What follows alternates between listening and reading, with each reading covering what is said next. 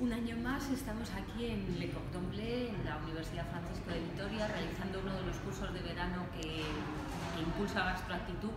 Y lo que más me gusta personalmente de, estos cursos, que vamos por el tercero, este año es el que está dedicado, ha estado dedicado al mar, eh, cocinando el mar, es que ponemos en contacto a todos los sectores implicados en la gastronomía, desde la escuela, la universidad, el ámbito científico, las empresas, los productores, los cocineros. Entonces, este trabajo de, ir creando un, tejido de, conocimiento que nos sirve también para compartir, creo que es lo más importante que sucede en, estos cursos de verano. En esta ocasión hemos tenido la oportunidad maravillosa que nos brindó la, empresa Balfegó de hacer un ronqueo de, de atún aquí en la escuela, que fue ayer y fue realmente espectacular, atún que luego probamos.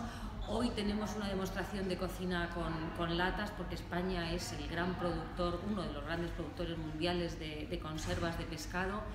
Hemos tenido demostraciones con algas, eh, hablando de la sal, de, los pescados de acuicultura, en fin, de las ostras, del abalón. Hemos pasado un poco revista a, a todo ese universo marino que al final nos llega a la mesa.